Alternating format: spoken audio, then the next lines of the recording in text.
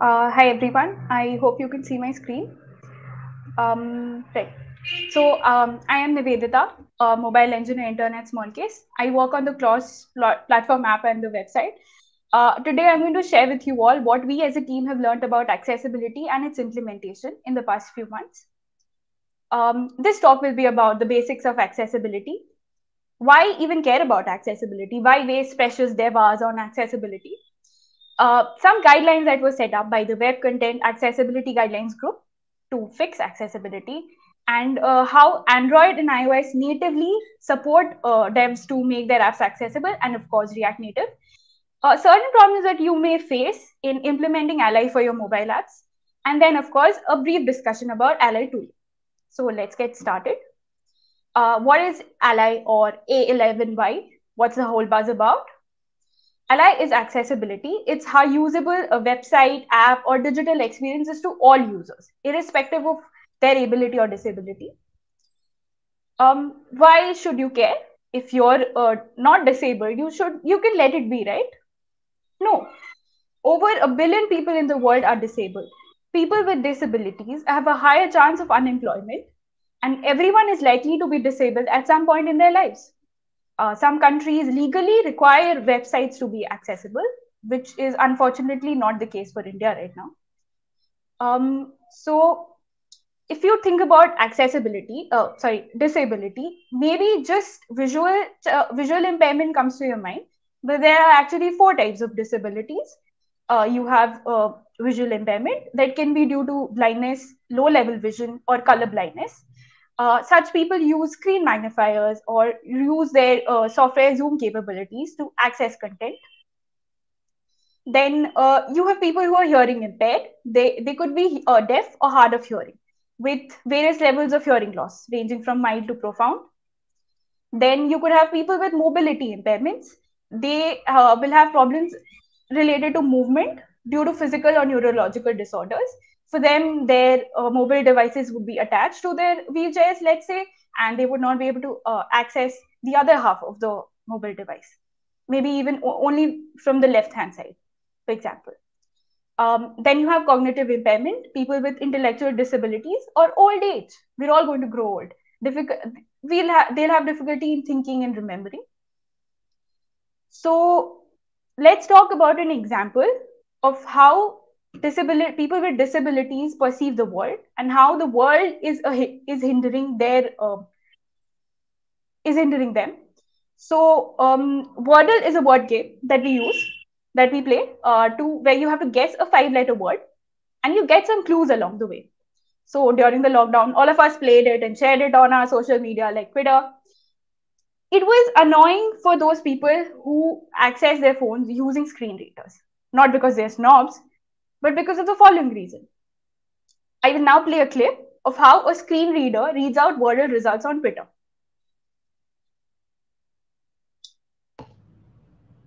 Comma, 3 green square, white large square, white large square, new line, 3 green square, white large square, white large square, new line, 3 green square, white large square, yellow square, new line.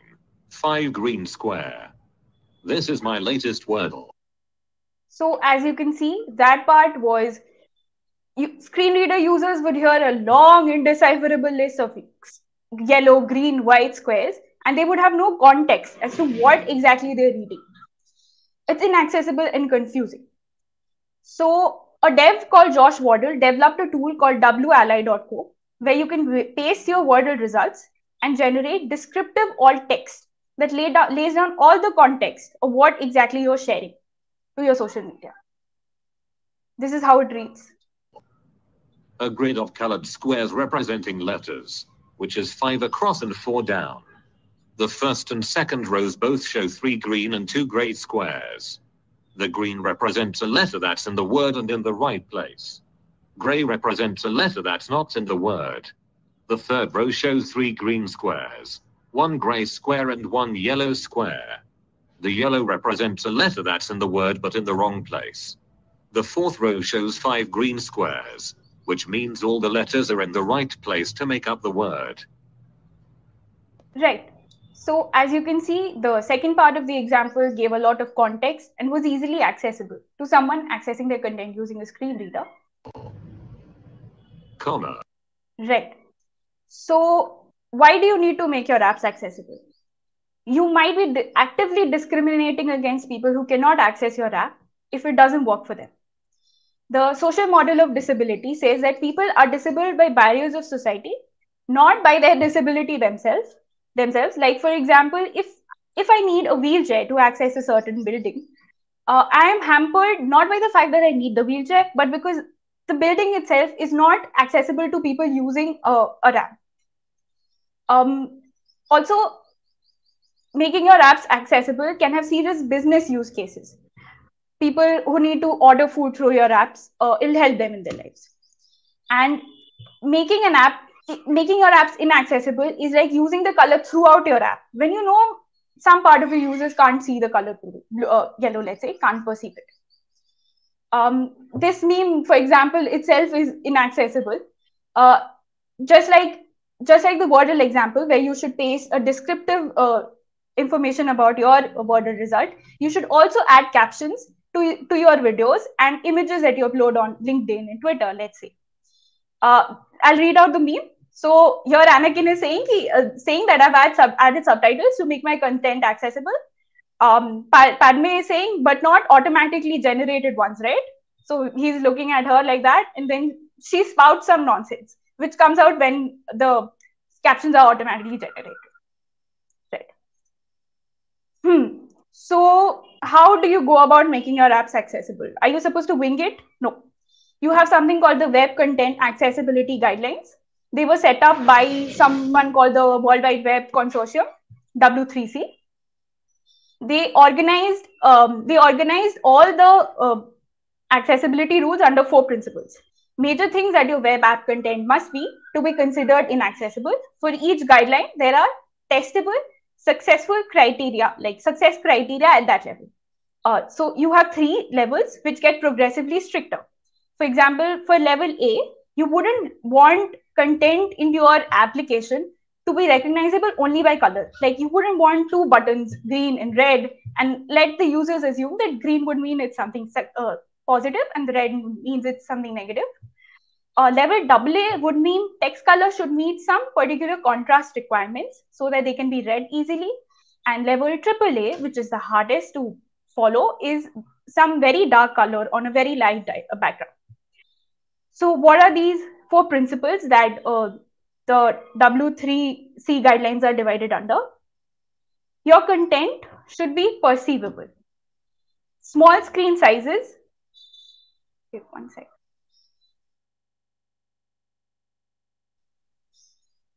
Uh, right. Small screen sizes limit the information people can view at a time. So if you uh, if they have to magnify the screen and see it they would have to continuously scroll in order to perceive it. So how do we fix that? We provide a reasonable default size for content and touch control so that the users don't have to continue to zoom in and out. You position the form fields below their labels so that instead of like beside their labels so that similarly the users don't have to scroll horizontally in order to access it and your uh, app should allow magnification up to by 200% and there should be some minimum level AA contrast requirement of 4.5 is to 1. Hmm. Your content should be operable, not just by users who use it through uh, the touch phone, uh, touch screen itself, also by users who use it through external uh, keyboards. Um, the touch target size and spacing. So touch target should be at least 9 cross 9 mm and there should be some inactive space around so that they don't click on it by mistake. Uh, touch screen gestures should indicate what happens when you set uh, upon that gesture. And uh, even if you have some fancy device manipulation gestures, you should still give an alternative for people who use your phone using keyboards, let's say. And buttons should be placed in an accessible manner so that they can be uh, used in which, whichever manner uh, the device is held in. Uh, the third principle would be what your your content must be understandable. Your screen reader should detect when the orientation changes, like your content's orientation changes, And your screen should support both orientations. Like going back to the previous example where a person with mobility, their uh, their mobile device would be attached to their uh, wheelchair, so they would not be able to change its orientation again. Your uh, layout should be consistent. Any navigational mechanisms that are repeated on multiple pages should appear in the same order throughout. Um, any components that have the same functionality should work the same way everywhere. Like two buttons should have the same with identical functionality, should have the same text. You provide clear information that elements are actionable. You they should have some conventional shape, size, positioning. You provide instructions for custom touchscreen and manipulation gestures. Like if you have tooltips or tool or overlays, you explain you should be able to explain to the user what gesture can be used to control it the final principle would be your apps should be robust uh, you should set the virtual keyboard to the type of data entry required. This is a no-brainer then you provide easy methods for data entry. So text entry can be tedious even for um, people who are not disabled. So you should provide more radio buttons and cute little checkboxes if possible. And uh, you should support the characteristic properties of the platform. So if your platform allows you to allows the users to zoom out they should the text should be wrapped and they shouldn't have to scroll horizontally to get that information hmm. so now all that now that we've discussed all those four principles it might seem a little overwhelming to you god knows it did to me and for people who are only listening to the talk this is jake Peralta saying cool cool cool very anxiously Right. So now we're going to discuss how uh, we can implement Ally on our mobile apps. Mm, there are three uh, simple things that you can look at when you want to implement uh, accessibility on your Android, iOS, and React Native apps. You design well-defined, clear task flows with minimal navigation steps, uh, especially you major user tasks, and make sure those tasks are navigable via focus control, external keyboard um, you label user interface components that do not have any clear indication of what happens when you interact with them. And you can you should make sure users can navigate with using a screen uh, using external keyboards and such or a switch. So natively on Android, this is an example of how you can set uh, Android content description to describe a particular UI element. Um, similarly, you can set something called screen reader focusable attribute to true for a particular view so that all of its inner objects um, can and, and all the and the focusable attribute of all its inner objects to false so that when screen reader goes through this particular view all the inner objects can be collected together and screen reader would read out all the properties one by one. And users won't have to separately focus on them. Um, natively, iOS has a comprehensive, comprehensive set of methods provided to the NSObject, uh, which is the root class of most Objective-C class hierarchies, and from which the subclasses inherit a basic system to the runtime uh, system. Uh, so what does UI accessibility provide? It's a set of methods that provide accessibility information about views and controls in an app's interface. UI accessibility container is used by view subclasses to make the subcon uh, subcomponents accessible as separate elements. UI accessibility action would uh, be a set of methods that tell accessibility elements, uh, these are the specific actions that we support. And use UI accessibility focus would determine whether voiceover has focus currently on a particular element. So now we come to implementing Ally on React Native both, as we just discussed, both Android and iOS provide APIs for integrating apps with assistive tech like screen reader or voiceover. React Native has a complementary set of APIs that lets your app accommodate all users. So what are these? First of all, we have something called accessible, which takes a Boolean value. When true, this indicates that the view is an accessibility element, which means that all of its children are grouped together into a single selectable component. And you don't have the user won't have to individually um, focus on each of its children to get the accessibility label. That's it. Um, all touchable elements are accessible by default then you have something called accessible role accessibility role it communicates the purpose of an element whether the element is a button a link a header mm, here, for example, setting the accessibility role heading is useful for navigation throughout the app. The user can go through all the headings in a particular screen and find out where they are, figure out stuff. Um, then you have something called the accessibility label. It provides a sense of purpose to the current element. So how is it different from role? Role would refer to a button, while label would refer to, let's say, saying that tap on this button to watch list this particular item. Um, what is accessibility state? It's the current state of a component. The current state can be disabled, selected, expanded, um, read. And then you have something called accessibility hint. Here, you would give a hint to the user how things will turn out if they actually go ahead and um, click on a particular button. It'll, it can tell them that clicking on this particular button will open it will redirect them to the mobile browser instead of opening a new view in the same app. Um, here's an example of the difference between role and label. You have a button, clicking on it will submit code, and it's currently disabled. Here, had we had, like, instead of submit code, had we had some generic text, like, let's say, click me or button, is you would have had to add a label here to tell users that clicking on this particular button will lead them to submit but since that text is already descriptive, we wouldn't need to add extra things. Um, these are the other uh, properties available. Some are, a few of them are specific to Android and few are specific to iOS.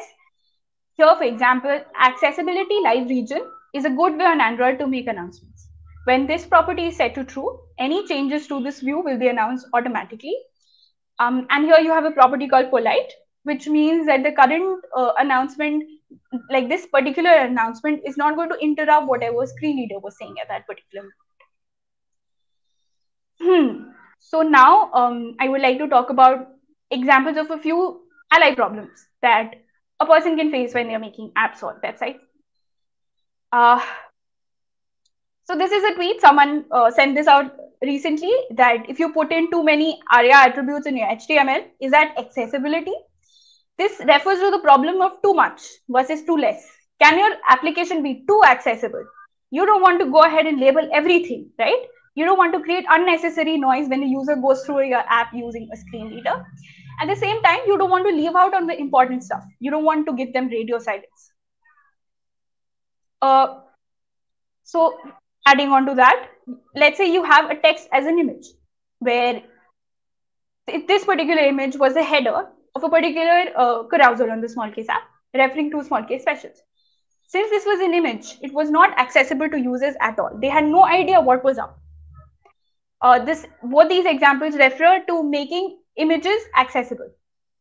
First one being where it's an informative image.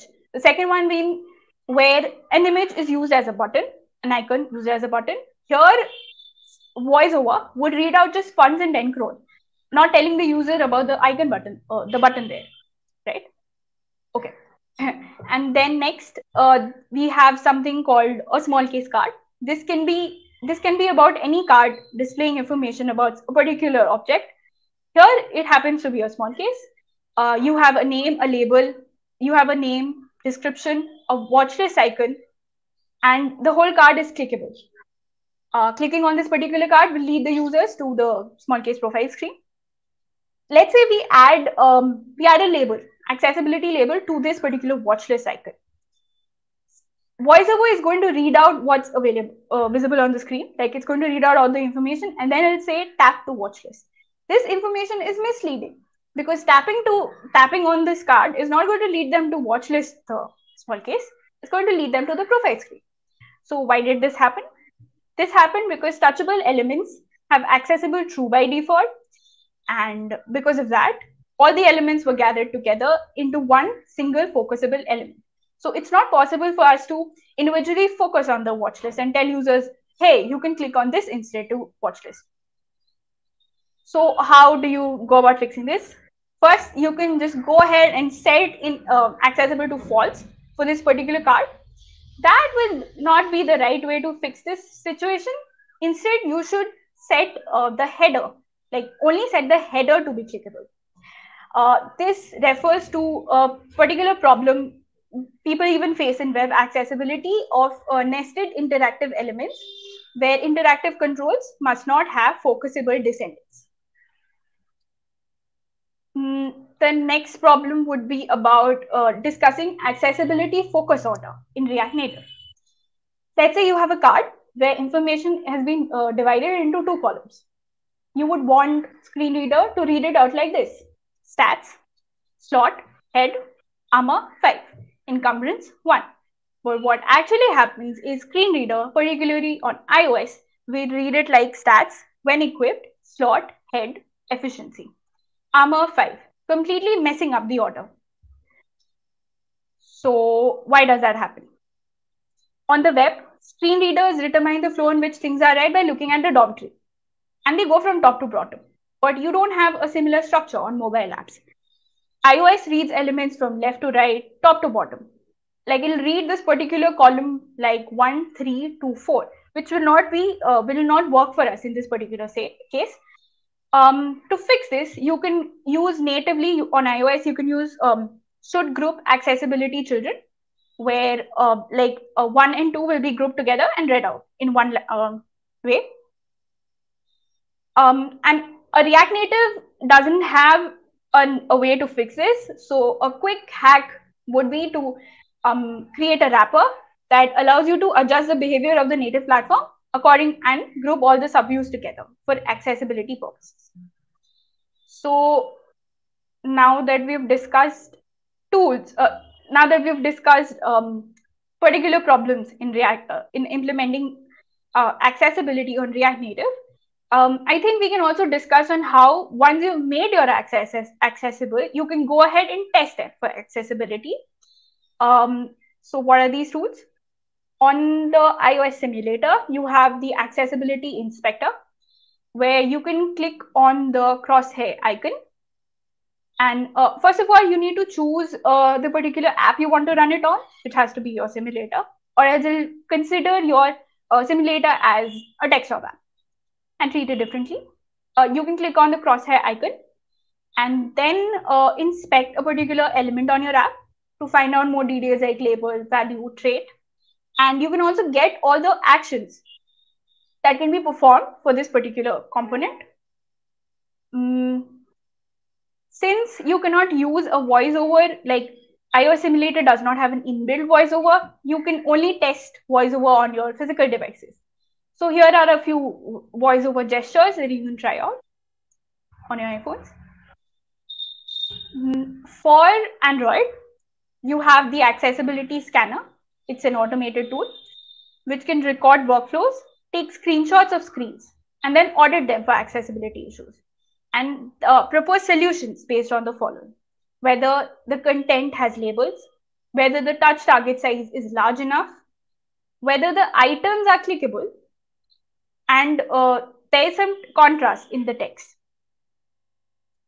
Uh, here is here is the image of uh, after we run the accessibility scanner on one screen of the Smallcase app.